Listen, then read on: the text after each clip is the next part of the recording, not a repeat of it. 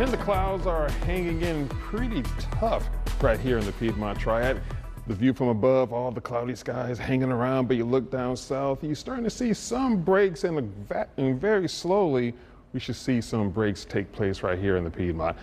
Our current image from downtown still kind of cloudy here, but folks are still out and about. No rainfall to talk about. We could see a little bit of mist and drizzle, but no significant rainfall in the forecast for today. Currently, the clouds are holding us down to around 70 degrees. To get out into some sun, Charlotte already up to 81 degrees. Got some sun over here in Asheville looking at 76. When the kids come home a little bit later on this afternoon, the clouds more than likely still hanging around a few breaks here and there. Very low rain chance, roughly around 76 by 3 o'clock this afternoon. Our rain chances staying very low, 10 to maybe 20 percent. Move ahead into our Friday morning. The clouds will fill back in. And it looks like Friday should be a mostly cloudy day with a very weak cold front in the area, helping to spark maybe a few isolated rain showers. Once again, rain chance for tomorrow around 10 to 20 percent. Not looking for anything major for us. Move ahead into our Saturday morning. Our skies will begin to brighten up and looks like Saturday will be a very nice day across the area with mainly sunny skies.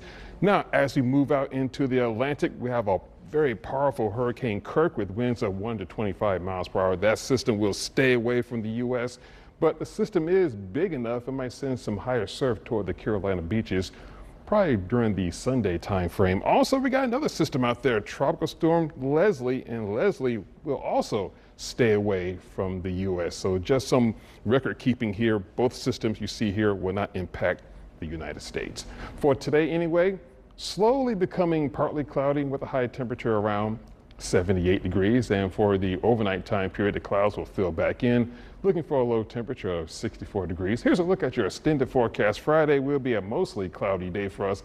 High temperature around 78 degrees, more sun for our Saturday. That should help boost things to around 80 degrees. The weekend, Saturday and Sunday looking very nice here. Monday also looking very nice with 79 degrees. Then check this out. By the end of the forecast period, look at Tuesday morning, dropping down to 53 degrees. Some cool, refreshing fall air will begin to move in. The humidity levels will drop. Tuesday looking very pleasant at 72. Check out the morning low on Wednesday, 48, with a high of only 71 on Wednesday.